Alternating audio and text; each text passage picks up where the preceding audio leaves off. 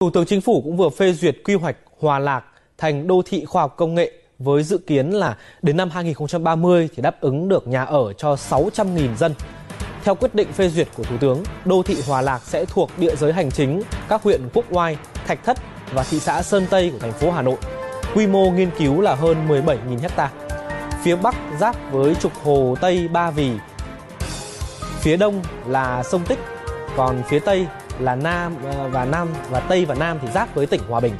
Đô thị Hòa Lạc được định hướng là đô thị khoa học công nghệ, nơi tập trung trí tuệ và công nghệ tiên tiến, trung tâm đào tạo nguồn nhân lực chất lượng cao, trung tâm nghiên cứu khoa học công nghệ cao của cả nước, trung tâm đại học quốc gia và cao đẳng dạy nghề, trung tâm y tế, khám chữa bệnh, nghỉ dưỡng.